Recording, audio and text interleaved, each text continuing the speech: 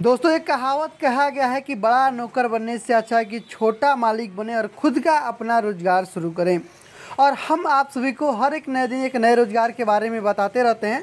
तो दोस्तों, आप सभी के लिए आज एक ऐसा रोज़गार, एक ऐसा उद्योग के बारे में हम आपको बताने जा रहे हैं, जिसको अगर आप घर पे लगा के आप चाहे दो महीने के काफ़ी अच्छा खासा पैसा कमा सकते हैं। हालाँकि बिज़नेस भाई पुराना है, लेकिन आपको लाइव तस्वीर भी अभी आप देख रहे होंगे।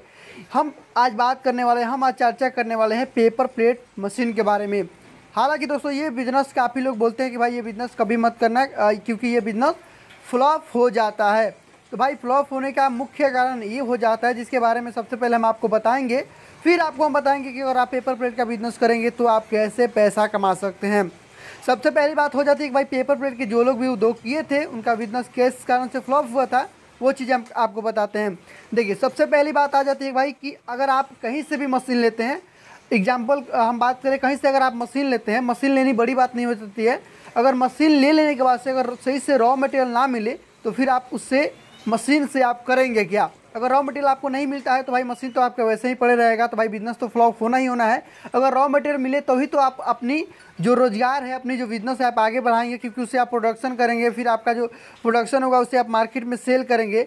तो ही तो आप पैसा कमा सकते हैं भाई। और दूसरी चीज़, एक और आ रही थी कारण, जो कि पिछले बार जितने भी लोग पेपर प्लेट का जो बिज़नेस किए थे, और जिनका बिज़नेस फ्लॉप हुआ था, उसका हम आपको कारण बता रहे हैं। एक और कारण लोगों का हुआ था कि बहुत लोग बहुत सारे जगहों से मशीन की खरीदारी किए थे, लेकिन भाई मशीन खरीदारी करने के बाद से उनको बहुत बड़ा लॉस हुआ, बहुत बड़ा लोगों को प्रॉब्लम हुआ। क्योंकि जब पेपर प्लेट की बहुत सारी, अभी तो लघु दो की बहुत सारी कंपनी ऐसे मशीन सेल कर रही हैं, लेकिन लोग जाते हैं और सस्ते के चक्कर में सस्ता मशीन उठा के लोग लेके चले जाते हैं। और उसमें कारण ये हो जाता है ना कि अगर मशीन उनका सही से ऑपरेट ना हो सही से ना चले आज चले कल मोटर में प्रॉब्लम आ जाए मोटर को सही कराए तब तक मालूम चला कि भाई आ, उसके आ, बेल्ट वगैरह प्रॉब्लम मतलब टेक्निकल जो इशू आती रहती है मशीनों में उस कारण से भी लोगों का बिज़नेस फ्लॉप होता है। एग्ज़ाम्पल अगर बात करें कि मान लीजिए आज आपका मशीन चल रहा है और कल आपका मशीन खराब हो गया तो लगभग लगभग उसको बनने में चार से पाँच दिन लग ही जाएगा भाई। ये चीज़ आप लोग कमेंट करके बताइएगा कि बात सही है कि नहीं। और उतना टाइम लग ही जाता है। तो भाई पाँच दिन का जो है, वो टाइम तो भाई बर्बाद गया और साथ साथ जो पाँच दिन में जो हम माल बनाते हैं, उस माल को अगर हम लेकर कहीं सेल करते तो उसका तो प्रॉफिट भी गया। मतलब इस कारण से थोड़ा सा लॉस लोगों को होने लगता है। धीरे धीरे करके एक बार जब ज़्यादा लॉस होता है, उस कारण से ये बिज़नेस लोग बोलते हैं कि भाई फ्लॉप हो रहा।